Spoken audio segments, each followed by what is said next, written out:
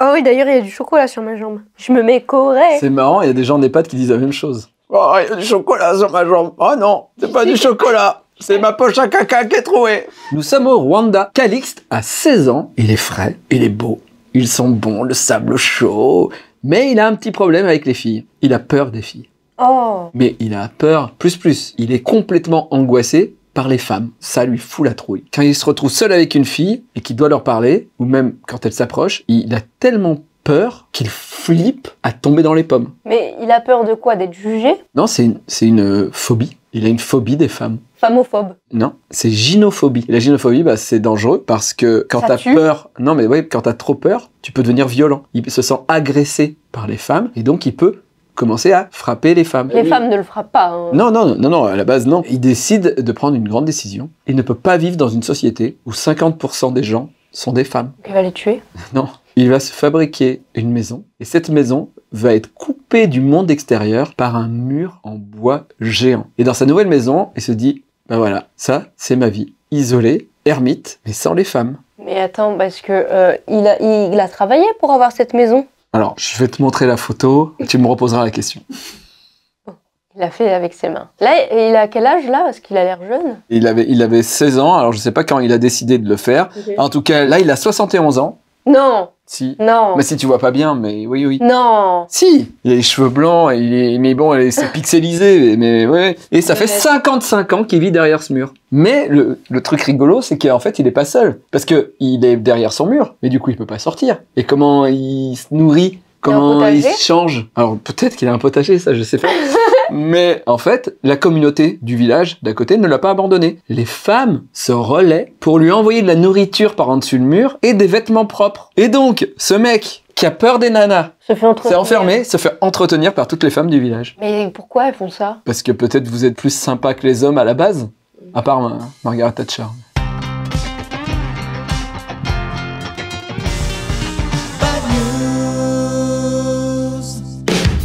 Les clones tueurs de retour pour vous pranker le meilleur du canular morbide compilant en DVD. Vous rentrez tard du boulot après une journée de stress en étant à cran et retournez à votre voiture que vous n'avez pas pu encore réviser faute de moyens sur le parking vide. Prank Un clown avec une hache vous attend pour vous courir après. Rien de mieux pour oublier tous ces soucis. 5 heures de caméra cachée mettant en scène des clowns inquiétants brandissant des armes effrayantes mais non létales face à de simples badauds cherchant à poursuivre leur chemin sans encombre. C'est sur le DVD Pranking Killer Clown en vente dès maintenant. Merci Ariel. Bonjour mesdames, messieurs, transgenres, sans genre, mauvais genre, badounettes, c'est Bagnews. Bagnews, c'est l'émission de l'autre actualité. On n'est pas là forcément pour rire, mais on est là pour faire un état des lieux de l'humanité. Et croyez-moi, on est une belle brochette de cons. Je vous rappelle que Bagnews, c'est l'émission qui affirme ne pas vérifier ses sources ni ses micros. Là, ça va? Super. C'est n'importe quoi. Aujourd'hui, dans l'émission, nous recevons Eleanor Jenkins. Ben, je suis pas un gesson. Non.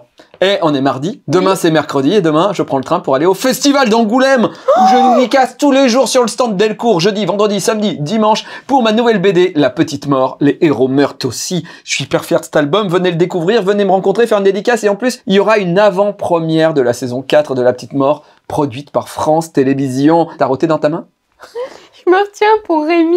Pour moi, non. Mais Moi, c'est Rémi, il a ok. Rémi, il a le casque, il a tout en fois 1000. Ok. En bref. En bref, On va au Japon, pays des sumo. Au Japon, les sumo, c'est du serious business. Nous, on rit parce que c'est vrai qu'on voit genre des mecs en slip qui se rentrent dedans pour se faire tomber d'un cercle et on trouve que c'est pas hyper... Mais chez eux, c'est un art, quoi. Oui, Et le sumo n'est pas un sport mixte. Il n'y a pas de femmes je sumo. suis mette.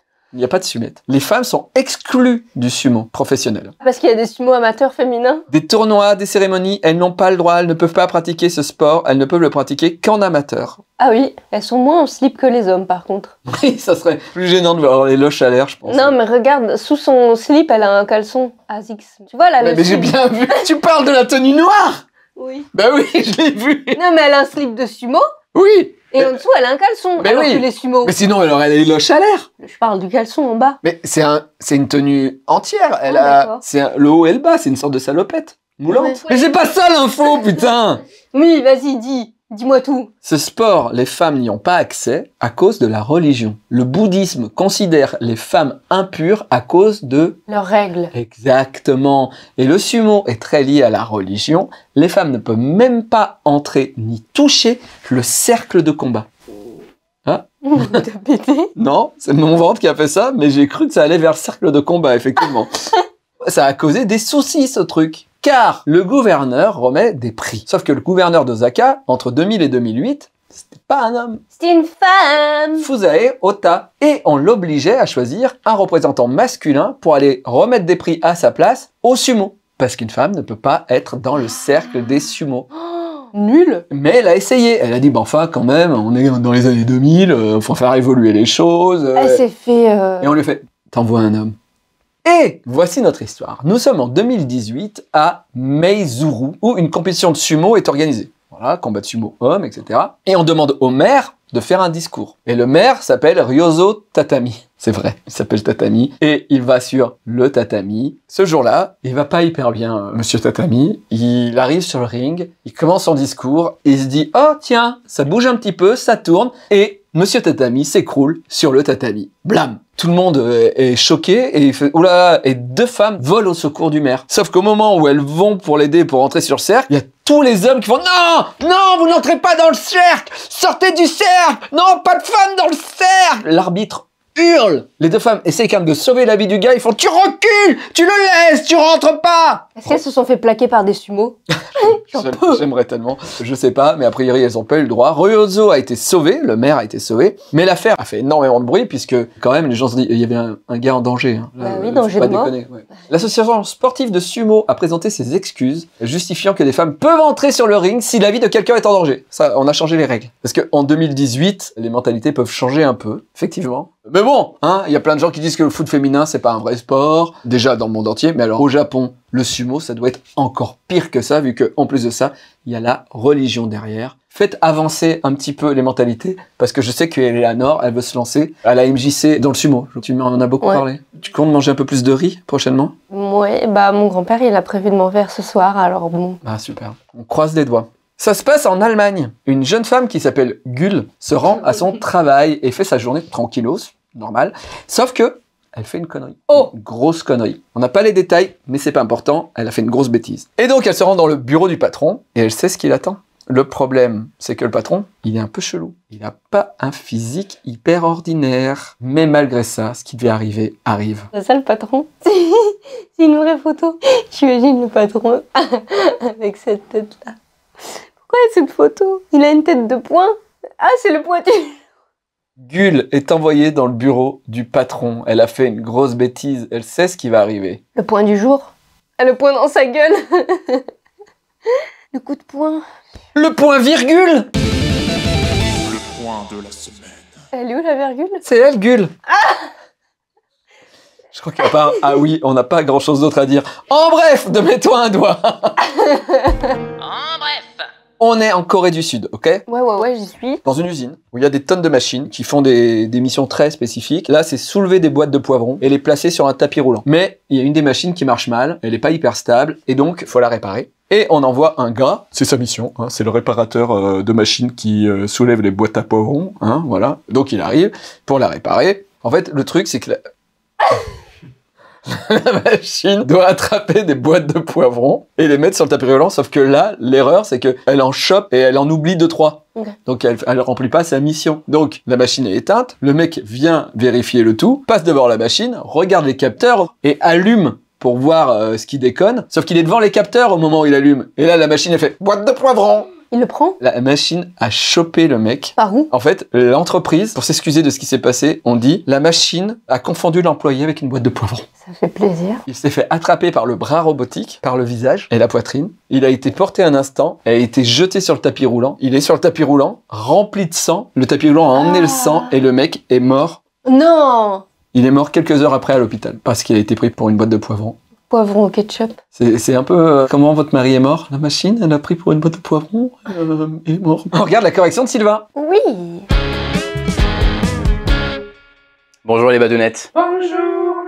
En plein été, à l'heure des chassés-croisés entre juilletistes et haussiens, non, on dirait le trésor de TF1. En plein été donc, dans la bad news hors série du 1er août, Eleanor affirme aux alentours de 3 minutes 40 que l'interdiction de téléphoner au volant date de 2006. Et là, j'ai appelé alors que j'étais au volant. Mais oui. Mais en 98, on avait le droit.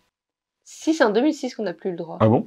2003 en réalité. Et 2015 pour les kits main libre. 3 points et 135 euros d'amende. Bim. Au volant, vous avez juste le droit de, de conduire. Mais vous pouvez conduire nu. Par contre, faut pas qu'on vous voit nu. Sinon, ça peut être considéré comme de l'exhibition sexuelle. Un an de prison et 15 000 euros d'amende. Donc, si vous conduisez tout nu, vous ne pouvez pas trop doubler un bus de scout ou un camion ou passer sous un pont ou toute autre situation où on peut vous voir euh, bah, d'en haut. Et s'il y a un accident ou un contrôle de police, faut vite pouvoir se rhabiller avant de sortir. Parce que oui, la voiture c'est certes le prolongement du domicile, mais même chez vous, vous n'avez pas le droit de faire l'hélicoptère avec votre bite ou vos seins hein, à la fenêtre ou dans votre jardin slash sur votre balcon si vous avez des vis-à-vis. Alors par contre, vous pouvez conduire en talons, pieds nus, fumer, boire, manger au volant, mais ça peut être retenu contre vous en cas d'accident. À vous de voir. Slip au volant, pas mort au tournant. Au revoir les badounettes. Merci beaucoup Sylvain La moitié sur le pantalon, la moitié sur la table, et le reste dans la bouche. On passe à la bagnose du jour.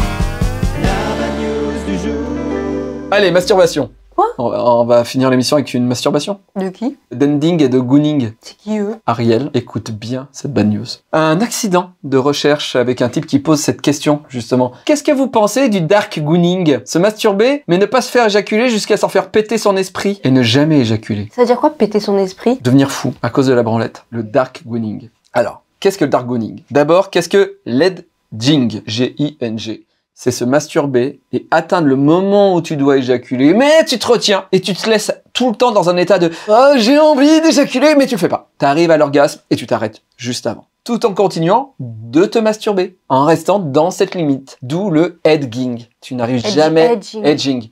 Edging. Du coup, t'arrives jamais à la fin. Mais certains se vantent de pouvoir faire ça pendant très longtemps. Et c'est ce qu'on appelle le gooning. Plus loin que le edging. Les gens qui font du gooning, on va les, les appeler les goonies, Oui. pour bien péter l'enfance de beaucoup de gens qui nous écoutent. Donc, les goonies racontent que lorsqu'ils edge suffisamment longtemps, ils atteignent une sorte de transe et ils ont l'impression que leur esprit est détruit à l'intérieur. Il n'y a qu'une seule chose qui importe, c'est se vider. Quand il n'y a plus que ça, ça devient obsessionnel. Ouais. C'est comme si ton existence ne se résumait qu'à jouir, qu'à expulser du sperme. Ce serait un état hypnotique, à moitié méditatif, à moitié masturbatif. Quand les gens se masturbent trop longtemps, sans jouir. Ça permet d'obtenir un orgasme puissant, mais gratifiant. Tu crois que ils peuvent aller sur la lune euh Je pense que quelqu'un qui est en gooning, je pense que lui, il atteint la lune. Même il dépasse la lune, je pense. Il atteint la face cachée de la lune. Hum, hum, hum. Là, il y a encore Tintin, une faciale à Tintin. Ils disent qu'ils obtiennent une transe où ils ne font plus qu'un qu'avec leur bite. Et si on cherche sur Internet, on tombe sur des gens qui disent, avec le gooning, le moindre contact sur la peau devient une extase, tu te baves dessus, tu pousses des grognements, et après, il y a le dark gooning. Si tu continues encore, qui te casse l'esprit, tu deviens fou, tu peux hurler, pleurer, rire comme un dément, tu perds les sens des réalités.